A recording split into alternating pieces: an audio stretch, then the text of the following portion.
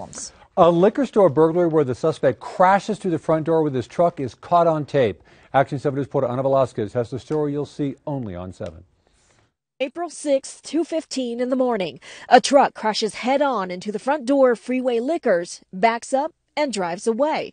It looks like an accident, but it's not. They came back at like around 4 4:30. Two hours later, the driver comes back. He looks around, making sure the coast is clear, then crawls through the hole and goes for it. He grabbed my laptop first. And doesn't let go while he grabs cigarettes, but his pockets aren't doing the job. So he takes a bucket and fills it with as many smokes as he can.